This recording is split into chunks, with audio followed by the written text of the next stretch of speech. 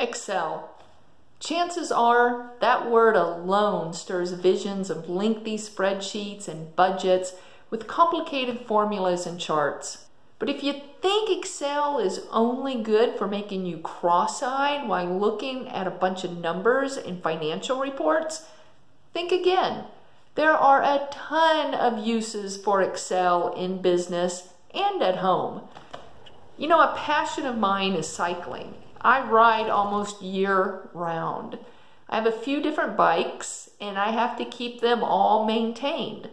what does that have to do with Excel? Let me show you a very simple log I keep of my bicycle maintenance and the different things I can do based on this simple data tracking. Here is the log that I keep for my bicycle maintenance in Excel. Now I actually print this out and I keep it out in my garage and so I can just handwrite it in and then I update Excel as needed. So let's take a look at this. It's very simple. Uh, the date of the either maintenance or if I had to make a purchase, what bike it was. I do have more than one bike and I have a, for instance, I have a mountain bike, single speed, then I have a mountain bike, I have a gravel bike, and I have a cross bike that's a single speed. And I keep the names consistent so when I do use these names in a formula, they'll come up correct. And then I'm just keeping a log of what the maintenance was or what the purchase was and if there was a cost involved. And then who performed the maintenance. So if it's a purchase, obviously no one performed the maintenance. Sometimes I do the maintenance myself. I'm not a very good bike mechanic, so there are times I have to take it to the bike shop.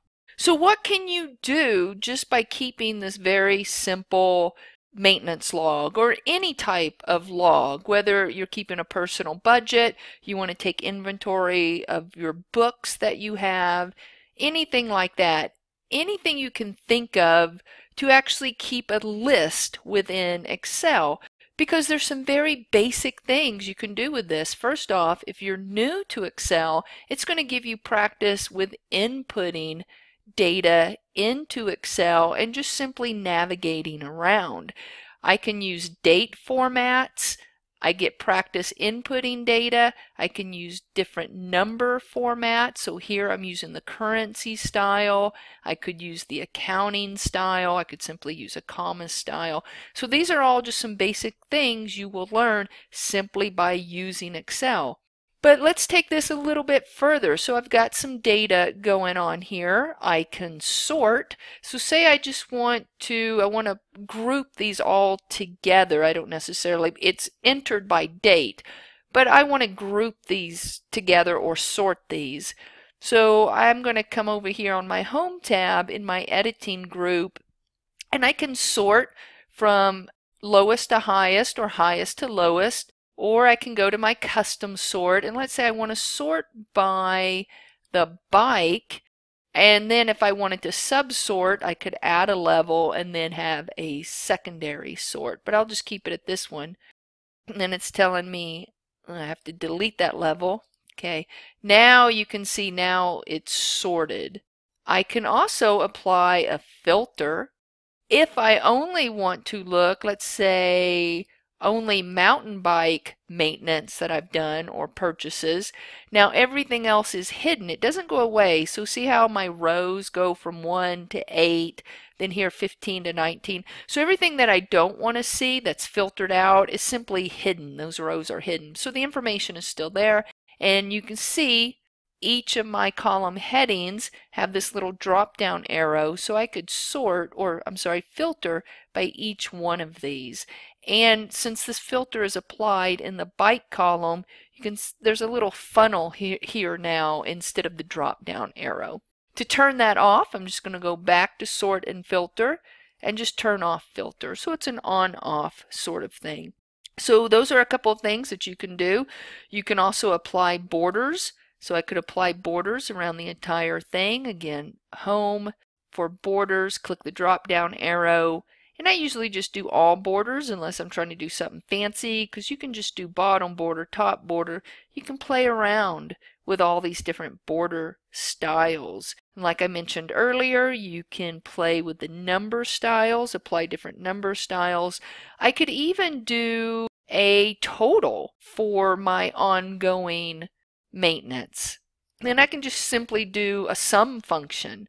And my auto sum is actually right here, but in this case, I usually, if it's an ongoing list, I don't like to put the total at the bottom because then I have to keep moving it, inserting rows.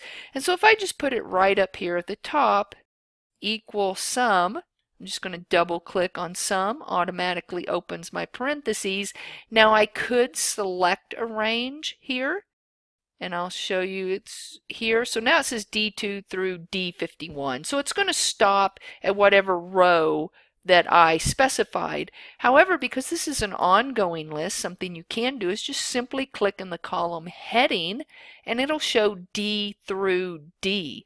Now it doesn't matter how long your list gets, you never have to go in and change this formula. Then I'm just going to hit enter, that'll close the parentheses, and that'll give me an ongoing total. So that's another thing. So again, the very basic things that you can do simply by keeping a list in Excel, the ways that you can practice is you can practice with sort, filter, using your borders, using different number styles, and using a sum function. What are some of the more advanced things that you can do just from this simple list that I'm keeping?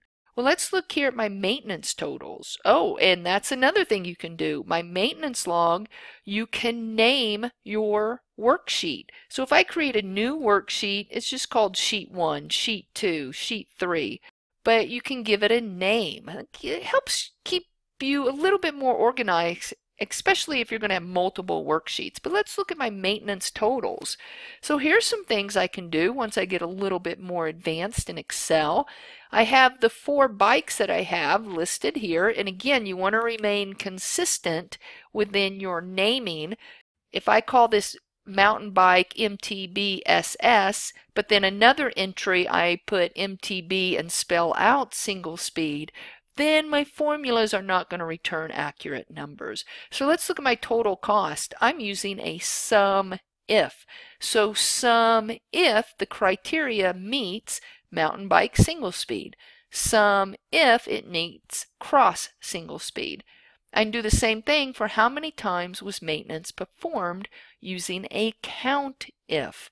And then I can do a grand total from that here. I can also do charts. So if I just for visual representation, so even though I have the numbers right here, charts bridge that gap between our spreadsheet data and the real world. It's a lot easier to look at a picture that represents something than it is just to look at a bunch of numbers. So I can create a chart. If I click on this, I can see that this is bike and total cost. If I click on this chart here, I can see that this was my bike and how many times the maintenance was performed. So again, some more advanced features that you can work on is sum if, count if, and charts. Now, the more you learn about Excel, the more you will learn how to analyze your data and to have fun with it. So I hope I encouraged you to use Excel more, and I hope I gave you some ideas. If you like this video, please subscribe to my channel Take a look through the videos, and if you would like a particular Excel feature covered, let me know in the comments below. I'm always looking to create videos that my audience needs. Thanks for watching.